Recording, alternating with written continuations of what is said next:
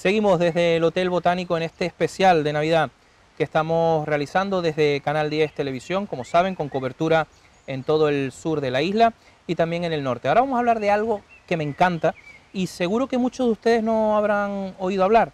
Se trata de la ciudad amiga de la infancia y nosotros aquí en Canarias tenemos la suerte, sobre todo en Tenerife, en Tenerife tenemos una, que es el municipio de Los Ralejos y en Canarias en concreto hay tres. Para esto vamos a hablar con Olga Jorge, que es concejal del Ayuntamiento de Los Ralejos.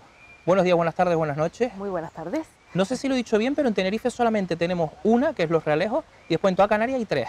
Bueno, ahora mismo en Tenerife tenemos Ciudad Amiga de la Infancia por excelencia, solamente Los Realejos. Como Ciudad Amiga de la Infancia, es cierto que fuimos los primeros, pero ahora mismo está Santa Cruz de Tenerife y La Laguna. ¿Se han sumado? Se han sumado. Pero hasta hace, hasta hace algunos meses no era así, ¿no? No, nosotros nos han dado el sello en el año 2014-2018 y fuimos la primera ciudad amiga de la infancia. Ahora hemos repetido, pero con la opción a excelencia y nada, hace muy poquito hemos recibido el sello por excelencia, los relejos de Ciudad Amiga de la Infancia, por excelencia la única ahora mismo en Canarias. Bueno, vamos a contarle a todos nuestros espectadores qué significa ser ciudad amiga de la infancia y qué conlleva todo esto, Olga. Bueno, ser ciudad amiga de la infancia lleva mucho trabajo mucho trabajo y trabajar con, todos los niños y niñas del municipio de Los Ralejos. Tenemos un consejo municipal de la infancia donde nos reunimos semanalmente con ellos, con todos estos niños y niñas que componen lo que es el, consejo municipal. Ellos hacen sus propuestas y nosotros pues lo único que podemos hacer es realizar todas esas propuestas como acciones. Pues ese es el trabajo que llevamos a cabo con todos ellos y siempre lo digo en todos los medios de comunicación, los niños y las niñas del Ralejos son los que tienen la voz. Pues sí, y además tenemos ese emblema en varios sitios del municipio, como por ejemplo la entrada de los Ralejos. Sí, en la entrada de los Ralejos, en la zona de los barros, pues ahí tenemos esta señal que nos dice que somos ciudad amiga de la infancia, luego una abajo en el Mirador de San Pedro y una arriba en Ico del Alto, en ese mirador tan bonito que tenemos ahí con el guanche, en el Mirador del Lance, pues tenemos otra. Me decías hace poco en otra entrevista que los niños esas decisiones que toman no son decisiones eh, de obras faraónicas, sino de cosas de la realidad, del día a día. Por ejemplo, ¿qué incluir en un parque infantil, por ejemplo, se me ocurre? Pues sí, ahora mismo se han, estamos a puntito de inaugurar un par de ellos más, pero 14 parques infantiles en Los Realejos, propuesta de los niños del Consejo Municipal de la Infancia. Este año también hemos inaugurado un parque para, perros en el Toscan Longuera, propuesta de los niños. Eh, hace muy poquito, el miércoles pasado, eh, dimos pistoletazo a un programa de la radio, en Radio Ralejos también, que ha sido otra propuesta por los niños y los niños y las niñas del consejo. Y así pues puedo seguir con varias más, pero son eh, propuestas fáciles y que se pueden llevar a cabo con muy poco dinero también. ¿eh? Y, nada, escucharles a ellos aprender muchísimo, Sandro. Yo estoy encantadísima, el, eh, este hoy es, pues hace dos días hemos estado en, reunida con, los niños del consejo y, bueno, ha sido una merienda para, para despedir el año y, y decía, Dios mío, cómo que, tienen tanto, tenemos tanto que aprender de pues los más pequeños. Antes nos decían que teníamos que aprender mucho de, nuestros abuelos o abuelas, pues ahora eh, yo soy una de las que digo que los niños nos enseñan mucho. Y son nuestro presente y son nuestro futuro. Efectivamente. Eh, se suele decir que son el futuro, pero para mí creo que son el presente. Son el presente. Aprendemos mucho, aprendemos mucho. Ellos tienen unas ideas eh, encantadoras, que te sientas a hablar con los niños del consejo y tú dices, pues es verdad, tiene mucha razón con lo que me están pidiendo.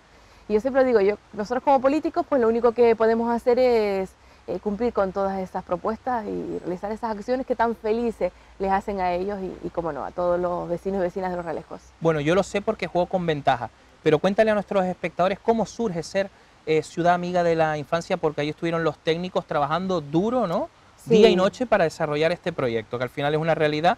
Sí, nosotros vamos de la mano cogidos de UNICEF, y los técnicos del área de bienestar social en la parte de animación, Vicente Marante y Mari Barroso, pues han hecho un trabajo increíble por los diferentes colegios del municipio con un proyecto que lleva muchísimos años que es Niñolandia y a raíz de eso pues se ha llegado a cabo de, presentar este, para presentarnos para que nos dieran este sello en el año 2014. Pues sí, es verdad, se trabaja mucho, Sandro. Eh, para llegar a... Eh, la semana pasada les decía, creo que todavía no nos hemos sentado a pensar el sello que tenemos.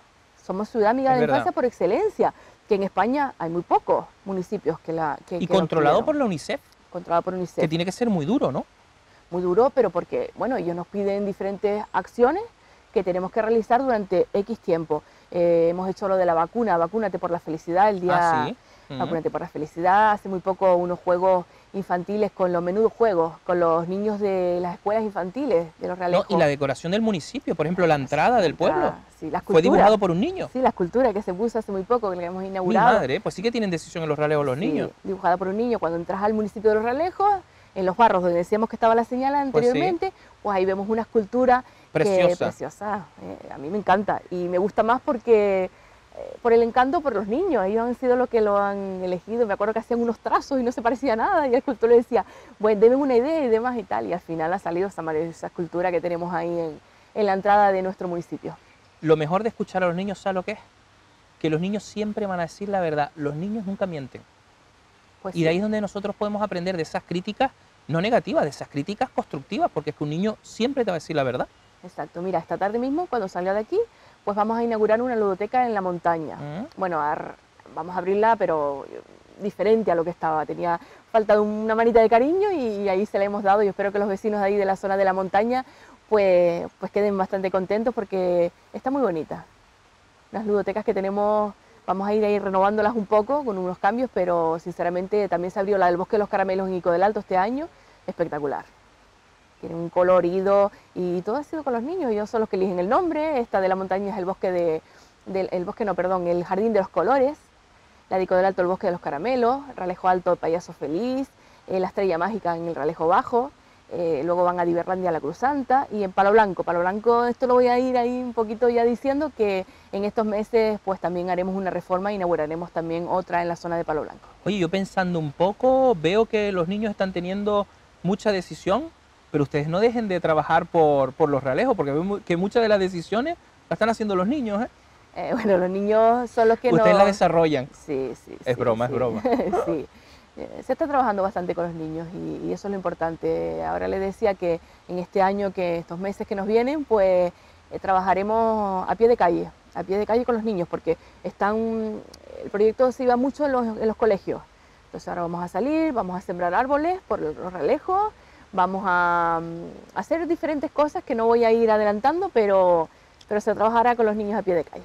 El otro día me adelantó el alcalde de Los Ralejos, Manuel Domínguez, que tú no lo sabías, yo no me lo creí, que en las locuciones de Descubre los Ralejos, en esas guaguas eh, turísticas con turismo interior, de gente que a lo mejor viene de Adeje o viene de Granadilla a visitar los Ralejos, antes la, la locución no era de niños y ahora va a ser pues directamente los niños explicando lo que es los Ralejos. Sí, eh, llevamos ya un año, casi dos años, junto con el área de, turismo, con mi compañera Carolina Toste, con un proyecto muy bonito. Nos vienen a visitar niños de diferentes municipios. Eh, al principio lo hacíamos, en, los recibíamos abajo en Rambla de Castro, pero ahora lo que hacemos es que los recibimos en el salón de plenos de, este ayuntamiento. Eh, preguntan muchísimas cosas, ellos se quieren informar un poco el funcionamiento del ayuntamiento y que les expliquemos cómo es los realejos, por qué se llaman los realejos, por qué está este escudo, eh, pues preguntas, pues te quedas... Que los realejos antes eran dos municipios. Exacto, Ralejo Alto, Ralejo Bajo, pues le explicamos todo esto. Y eran recibidos por el señor alcalde, por Carolina Tosti, por quien les habla. Pero ahora, a partir de enero, pues van a ser recibidos por los niños del Consejo Municipal de la Infancia. Qué bueno. Esa noticia que te enteraste tú primero que yo, pero bueno. Yo no lo creo, pero bueno, bueno.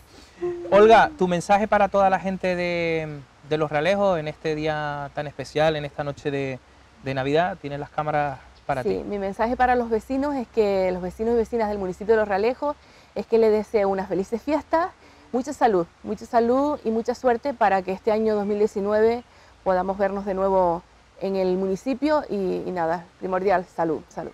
Gracias, feliz Navidad. Igualmente, un abrazo.